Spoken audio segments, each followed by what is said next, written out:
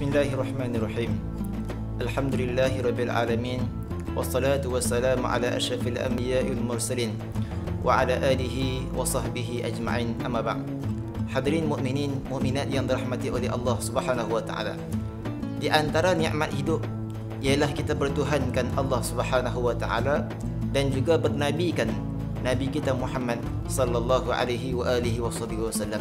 Justeru janganlah sepanjang seluruh kehidupan kita kita memutuskan hubungan kita dengan baginda Nabi sallallahu alaihi wasallam. Apa yang bersambung dengan Nabi, apa yang berkaitan dengan Nabi, semua akan menjadi hebat. Kalau kita lihat bagaimana dulu kota Yathrib asalnya kampung biasa sahaja yang tidak diziarahi oleh manusia tetapi apabila baginda Nabi sallallahu alaihi wasallam sudah berhijrah ke bumi kota Yathrib lalu kota Yathrib tersebut yang asalnya kampung yang kecil bertukar menjadi kota yang besar bahkan bercahaya pula yang kita sebutkan sebagai Madinah Al-Munawwarah.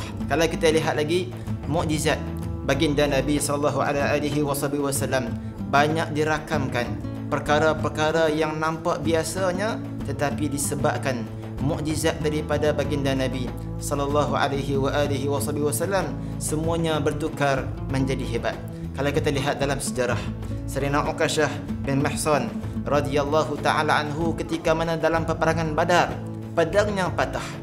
Dan baginda Nabi wasallam melihat keadaan itu baginda cepat-cepat mengambil ranting kayu lalu berikan kepada Sina Uqashah bin Mihsan Sina Uqashah yang begitu yakin dengan baginda Nabi wasallam walaupun hanya ranting kayu beliau menggunakan ranting itu masuk bertempur di medan musuh sehingga menjadikan ranting kayu itu seumpama pedang yang sangat tajam. Itulah kalau disentuh oleh baginda Nabi sallallahu alaihi wasallam semuanya akan menjadi hebat.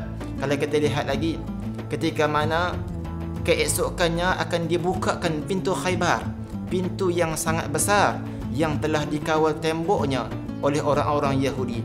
Malam tersebut baginda Nabi sallallahu alaihi wasallam mengatakan sesungguhnya pintu itu akan dibukakan oleh seorang yang dicintai dan juga diradai oleh Allah Subhanahu wa taala. Bahkan dia juga mencintai Allah dan juga rasulnya. Ketika itu para sahabat semua teringinkan nama mereka disebutkan oleh baginda Nabi sallallahu alaihi wa alihi wasallam keesokan harinya baginda Nabi SAW bertanya di manakah Ali? Maka sahabat menjawab wahai Rasulullah Sena Ali sakit mata ketika itu baginda Nabi SAW memanggil Sena Ali. Apabila dia panggil Sayyidina Ali lalu Nabi SAW mengusap mata Sayyidina Ali radhiyallahu taala anhu. Mata Sayyidina Ali dikatakan ketika itu sakit mata. Lalu apabila disentuh oleh baginda Nabi SAW kata Sayyidina Ali mataku yang disentuh oleh Nabi SAW lebih cerah daripada sebelumnya. Inilah yang kita inginkan. Sentuhan daripada baginda Nabi sallallahu alaihi wa alihi wasallam walaupun kita tidak dapat hidup sezaman dengan baginda Nabi sallallahu wasallam kita tidak dapat menyentuh jasad baginda Nabi sallallahu alaihi wasallam namun ingatlah ketika mana kita mengamalkan sunnah Nabi SAW ketika mana kita banyakkan bersalawat kepada baginda Nabi sallallahu alaihi wasallam ketika mana kita menzahirkan akhlak baginda Nabi sallallahu alaihi wasallam yang mulia maka disitulah akan tersentuhlah jiwa-jiwa kita. Sentuhan rohani sentuhan maknawi. Apabila kita menghubungkan diri kita dengan baginda Nabi sallallahu alaihi wa alihi wasallam pasti semua perkara akan dipermudahkan oleh Allah Subhanahu wa taala. Pasti perkara yang simple akan menjadi hebat.